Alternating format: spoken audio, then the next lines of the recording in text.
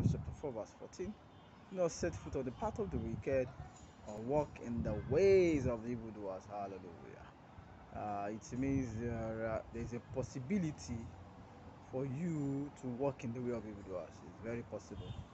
Uh, it's possible to set foot in the path of the wicked.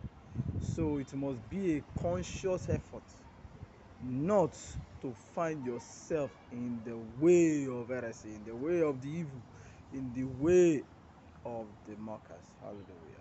I pray as you make up your mind and you are deliberate. So it means it must be a daily thing. It's not just a one-time thing. Yeah, I will not walk set foot on the path of the wicked. I will not walk in the way of people. It's not just a. It's a daily decision.